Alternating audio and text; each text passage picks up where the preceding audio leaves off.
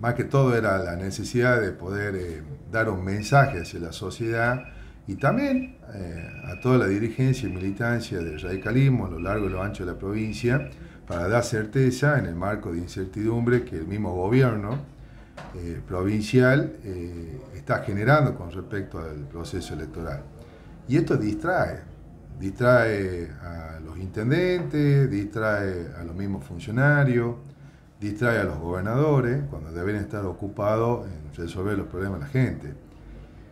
Y, acá hay un cierto grado de hipocresía, porque el mismo gobierno dice no estamos ocupando la agenda de la gente cuando ponen ya en, la agenda pública la fecha de elecciones y encima lo hacen sin certeza y cambiando eh, la apreciación, la opinión de cuáles serían los procesos con o sin la herramienta que ha permitido renovar la política y generar alternancia, que son las pasos. Y esto viene a dar respuesta a las demandas de la gente que dejen de ser los mismos. Si nosotros dejamos a la mesa chica de los partidos políticos la decisión, bueno, van a seguir siendo los mismos, porque no hay un ejercicio democrático en la mayoría de,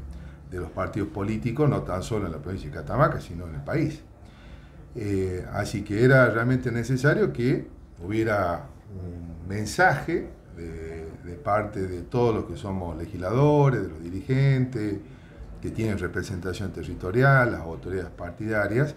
de que eh, nuestra apreciación es que las pasos realmente son la mejor herramienta para dirimir eh, eh, las candidaturas para una elección general, que permite comprometerse por parte de cada uno de los dirigentes a cuál es el compromiso que van a tener. ¿Por qué creen? Si miramos un poquito para atrás, muy cortito, eh, recordemos que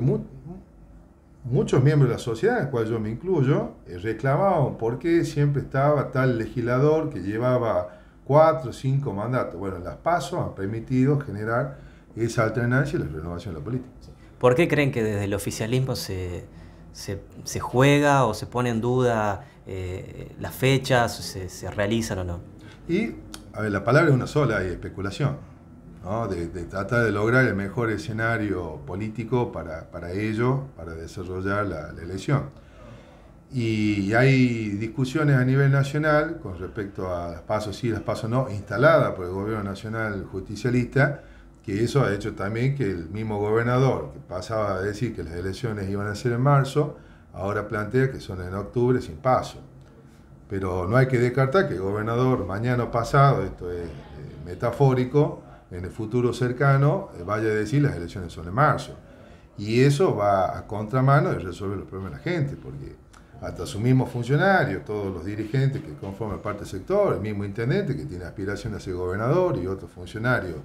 del mismo gobierno que aspiran a ser intendente de la capital, están más pensando en la elección que resolver el problema de la gente. Entonces realmente va a contramano esta incertidumbre en política genera, como también la incertidumbre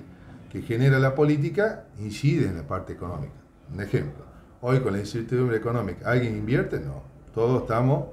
eh, los que podemos, obviamente, y, el grado de pobreza que tenemos también deteriora, ¿no es cierto?, las posibilidades de, aspirar a tener un empleo, es decir, cómo las empresas van a contratar si, si de alguna manera probablemente haya un cambio de gobierno y haya realmente cambio de políticas